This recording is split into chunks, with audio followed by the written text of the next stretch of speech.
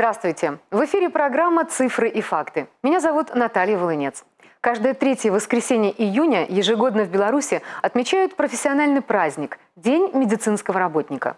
Врачевание испокон веков считалось одной из самых почитаемых и ответственных профессий. Повседневная забота о здоровье населения, предупреждение заболеваний, возвращение больных к полноценной жизни – все это придает особый статус медицинским работникам, как людям высокого общественного долга. Профессиональный праздник медиков отмечается в каждой стране. Учредить его предложили представители Организации Объединенных Наций в 1971 году. День медика долгое время везде отмечали по-разному – во многих странах его разделили на две даты – День врача и День медицинской сестры. Что касается даты третьего воскресенья июля, то в 1980 году ее утвердили на самом высоком уровне – указом Президиума Верховного Совета СССР. После распада Советского Союза празднование Дня медицинского работника в третье воскресенье июня сохранилось не только в Беларуси, но и в Молдове, Армении, России, Украине и Казахстане.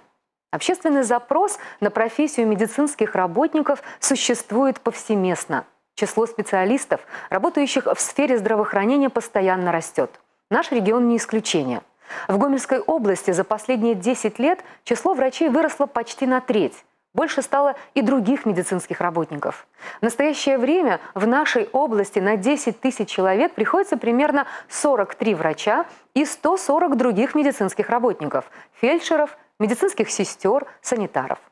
Если подходить к этим цифрам чисто арифметически, то стоит отметить, что сегодня у нас один врач отвечает за здоровье более 200 человек. Среди других регионов Беларуси Гомельская область в зеркале статистики выглядит довольно достойно. По количеству врачей на душу населения мы находимся на третьем месте в стране, а по количеству других медицинских работников – на втором. За последние 10 лет в области почти на 30% выросло и число специальных медицинских учреждений. Здравоохранение Гомельской области – это целая инфраструктура из более чем 250 организаций – обеспечивающих оказание полного спектра первичной и специализированной медицинской помощи, равнодоступной как городскому, так и сельскому населению.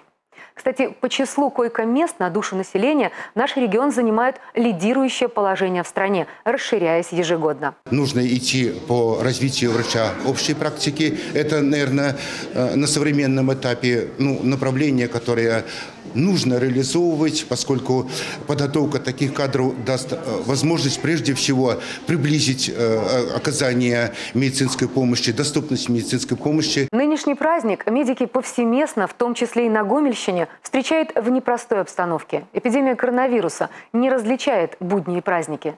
Многие из медработников этот день будут встречать на своем рабочем месте, спасая здоровье людей.